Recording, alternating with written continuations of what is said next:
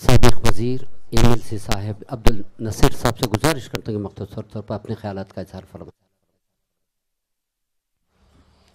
अलकुम सबसे पहले शुक्रगुजार हूँ पाक परवरदिगार का।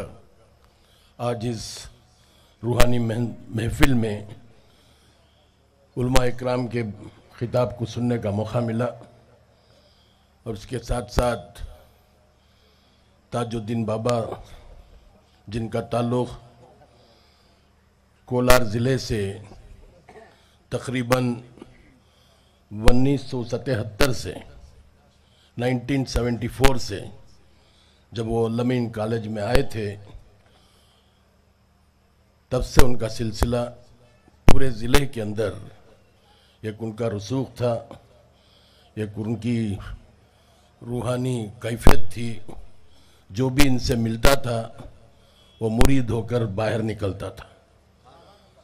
और मैं जब कभी भी उनसे मुलाकात हुई है, तब मैं उनके चेहरे पर बहुत गौर से देखा करता था तो उनके चेहरे के ऊपर एक रूहानियत रहा करती थी।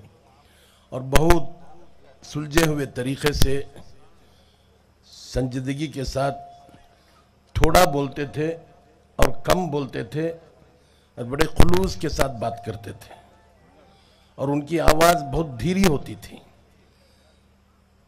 तो ये एक तरीक़ा उनका था। तो अल्लाह ताला आज उनकी याद में यहाँ पर एक बहुत बड़ी महफिल सजी हुई है।